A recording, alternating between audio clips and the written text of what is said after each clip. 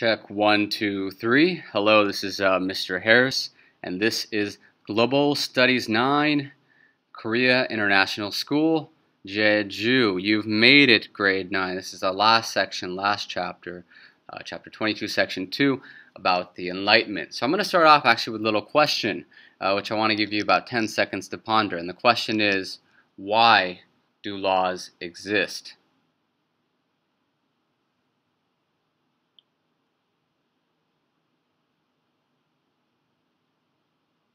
Now, I'm sure you came up with several reasons why, and um, I want to go over a prominent figure from the Enlightenment period whose uh, ideas are very relevant to why laws exist. So this individual is Beccaria, and um, prior to his philosophy, the general consensus of why laws existed was to avenge crime. So uh, if you remember the Hammurabi Code, you know, you break or you, you blind someone's eye, well then your eyes are going to be blinded, right? It's a punishment. You murder someone, well you're going to you might get murdered or you know tortured, right? As a punishment. You steal something, um, thinking back to you know Sharia law, you get your hand chopped off. So punishment was the main reason laws exist.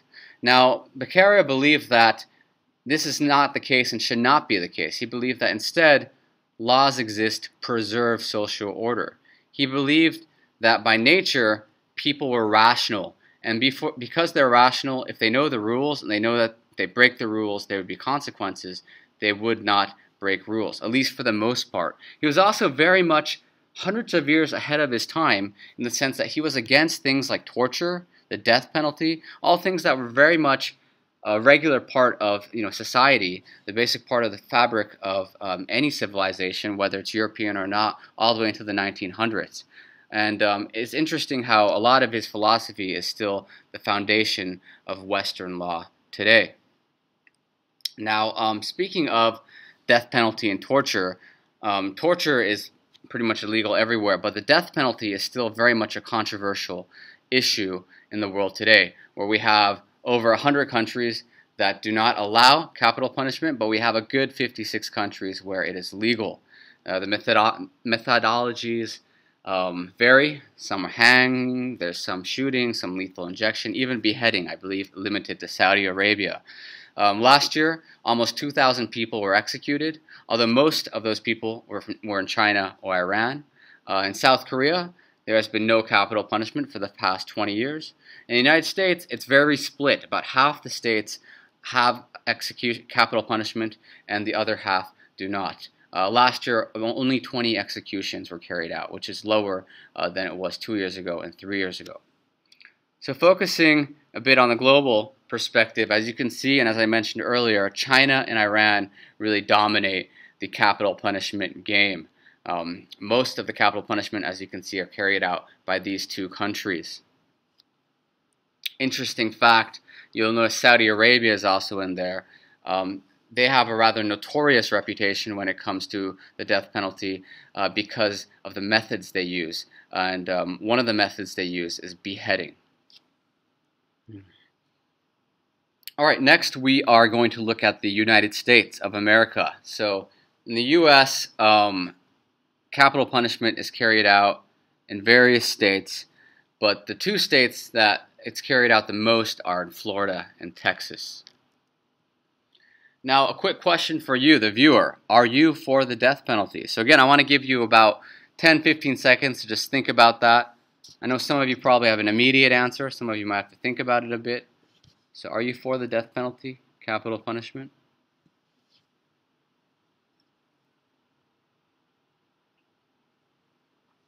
I'm sure some of you probably thought yes, some of you thought no, and this is what we call subjective question, right?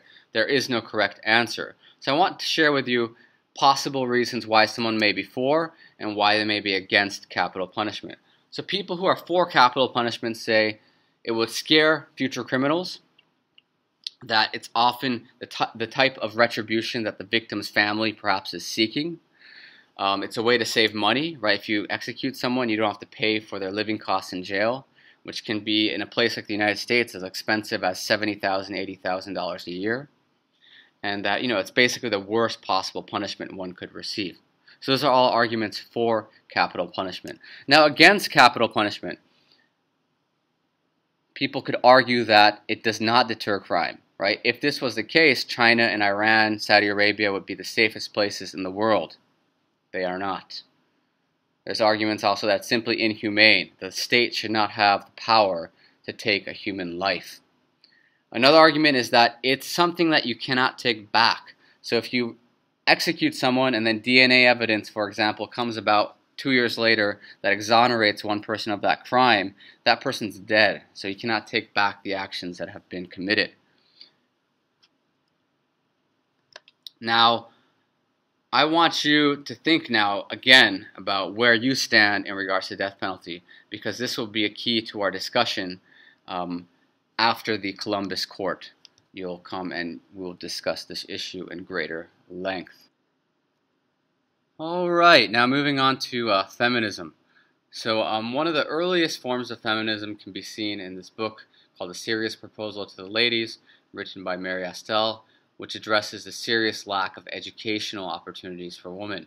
And Astell's view was that, you know, without education, women don't stand a chance against men in the workplace, and that education was where to start feminism. Some of you may be wondering, what is feminism? So I looked for the exact de definition online. The exact definition is the advocacy of women's rights on basis of the equality of the sexes.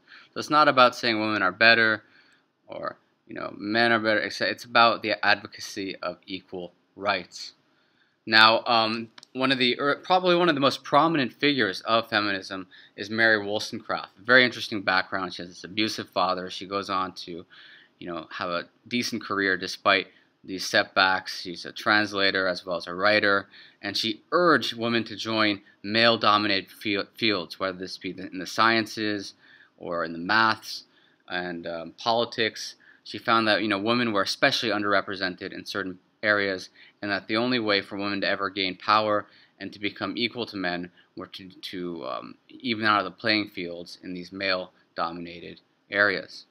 Now, while we're on the topic of feminism, this part's not in the book, but I thought it's worth addressing very quickly. There's uh, historians consider that there are three waves of uh, feminism. So the first wave is the one we're looking at right now. It's a very simple um, goal. The goal is to be able to vote, right? Because without a vote, you're not going to be able to elect politicians and get that protection you need. So this goes on for over a century. It, it's actually pretty crazy how long it took. And it took, for example, the United States all the way up to 1920. That's less than 100 years ago. Women couldn't even vote. And uh, what a lot of people also forget is in other places that would be considered fairly quote unquote progressive, for example, Switzerland, uh, they didn't even have women's rights to vote until the 1950s. So, um, you know, the concept of being able to vote is actually a very modern one. The second wave takes place from the 1960s up to about the 1990s, and um, now women are able to vote, but they realize that there are still so many obstacles, right? A lot of the discrimination that existed from before women can vote still exists, whether this be the limit women have to their reproductive rights, so do they have access to things like birth control, abortions, um, are women being treated equally in the workplace? You know, what is a woman's role in the family? um, you know, is it does a woman just have to have babies and stay home and you know look after the children, or you know, is there some sort of balance that should be struck? And the third wave is basically trying to finish up what wasn't accomplished in the 1960s, like getting equal pay and getting equal treatment in the workplace. But it also begins to include um, other movements that weren't included before, like transgenders, queers, and the focus is now to you know help all groups. Whereas in the 60s, a little, there was a little bit more stronger focus on white women. The third wave of feminism is considered to use intersectionality, and you know there's a focus on helping out all disenfranchised groups. So that's basically the super condensed version of feminism. Um, I, I, know that this is probably gone for an hour, but this is again the super short version of three waves of feminism. So an interesting um, movie that came out about two years ago was called Suffragettes. Um, this talks about the story of um, women getting the right to vote in uh, England. And uh, this is a pretty strong scene here, powerful scene of Emily Davison, a suffragette who um, she tries to hold a banner up at this horse race, and uh, in the process, um, she loses her life.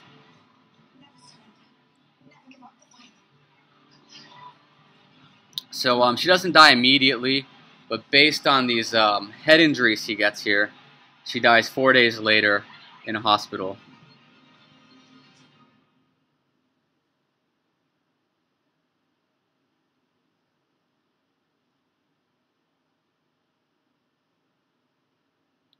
So yeah, the actual version of it is also available on YouTube. It's a pretty um, insane part of history, and what's crazier is just how recent it is. I mean, we're talking about only about 100 years ago. So we finish off with the legacy of the Enlightenment. So the Enlightenment left us with this concept that, you know, progress can happen through scientific breakthroughs, through philosophical breakthroughs, that we can, as mankind, you know, progress to the next level. There's also a more secular outlook that you know our understanding of the cosmos, of the universe around us, does not have to just come from the church, but it can come from scholars, it can come from scientists. Right? We can look at the world beyond just the lenses of the church. And sort of connected to two is the importance of the individual. So as people began to turn away from the church and look for guidance, they looked at themselves, right? They looked at each other. They noticed that through reason and logic, people can make their lives better. They can find cure to diseases. That, you know, by using our brains and using reason and logic, that human beings can connect, this connects number one, you know, progress to the next level. And that just about concludes chapter 22, section 2, as well as this entire uh, school year. So I understand this flipped classroom was a, uh, it's a nice little experiment. Most likely this is going to be the primary way um, ninth grade will be taught next year. Uh, hopefully this worked out this last few weeks for you. And um, as usual, here are the copyright disclaimers under Section 107 of the Copyright Act 1976. Allowance is made for fair use for purposes such as criticism, comment, news reporting, teaching, scholarships, and research. Fair use is the use permitted by a copyright statute that might otherwise be infringing. Nonprofit, educational, personal use tips the balance in favor of fair use. It is not to be used for copying and selling. No copyright infringement intended. Uh, have an excellent day, and goodbye.